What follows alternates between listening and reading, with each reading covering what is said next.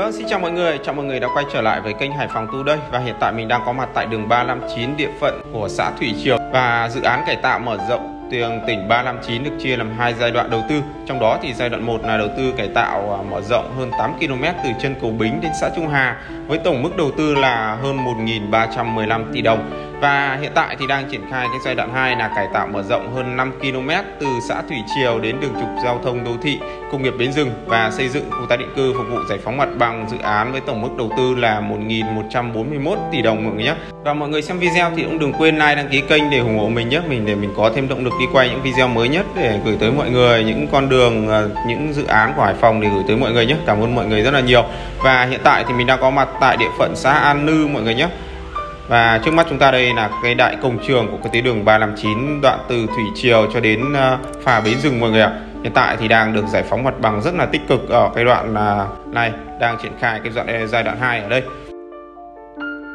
và cùng với các đoạn tuyến đã được hoàn thành và đang được triển khai thì đoạn tuyến này góp phần hoàn thành đường tỉnh 359 trở lên đồng bộ hiện đại. Và việc hoàn thành nâng cấp, cải tạo cái tuyến đường này sẽ giúp huyện Thủy Nguyên không còn là địa phương duy nhất trên địa bàn thành phố, chưa có trục đường huyện được nâng cấp hoàn thiện. Và qua đó thì cũng không chỉ là nâng cao năng lực giao thông mà còn góp phần thay đổi căn bản diện mạo đô thị, thúc đẩy phát triển các tiềm năng của các địa phương ờ, nơi các tuyến đường đi qua.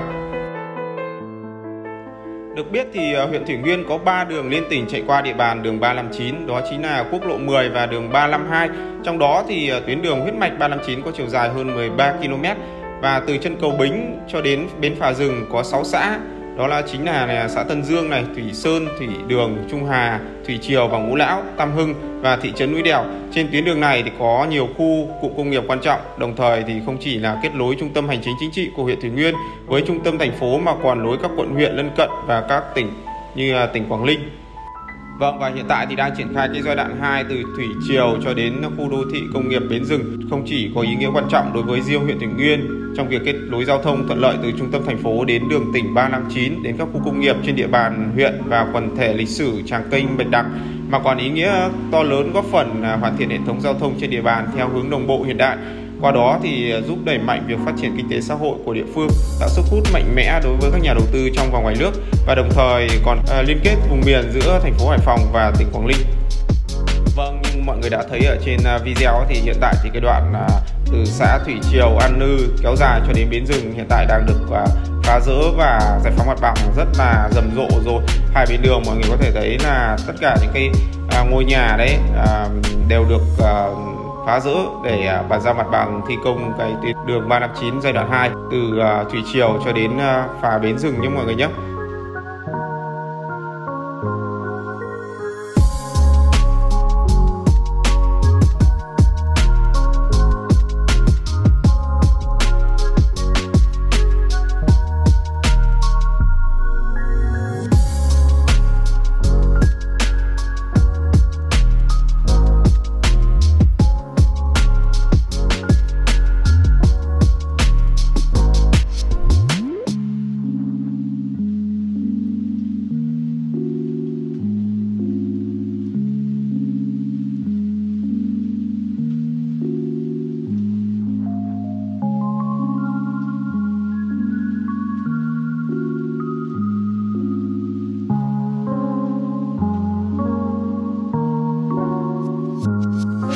Trước mặt chúng ta đây là chợ An Nư mọi người nhé. Chúng ta sẽ vào đây là cái cổng chợ để vào chợ An Nư này.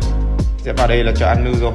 Và không biết là mọi người có từng được đi chợ An Nư này không? Chợ đầu mối hải sản lớn nhất huyện Thủy Nguyên. Mình à, thì thi thoảng cũng sang bên này để à, mua những cái hải sản rất là tươi ngon ở đây. Vâng, hiện tại thì đoạn trên à, khu chợ An Nư thì đã được trải nhựa hết rồi mọi người ạ vòng đoạn này thì ờ, mới được trải nghiệm alpha thôi còn cái vỉa hè vẫn chưa được uh, triển khai. Vâng, chúng ta có thể thấy được cái sự ngổn ngang ở đây. Khi mà những cái giờ cao điểm mật độ giao thông uh, di chuyển qua đây khá là nhiều luôn. Và hiện tại thì cái tuyến đường uh, đoạn này thì đang được uh, triển khai phá giữ mặt bằng ấy. Mọi người có thể thấy là di chuyển cũng hơi khó khăn một chút. Rất là đông luôn. Giờ này là giờ tan tầm mọi người nhé giờ tan tầm rồi nên là mọi người có thể thấy là mật độ giao thông ở cái tuyến đường này rất là đông luôn. Đang di chuyển qua cái à, đoạn đường đang được thi công và triển khai ở xã Thủy Triều, An Lư kéo dài cho đến à, phà bến rừng nhé mọi người nhé.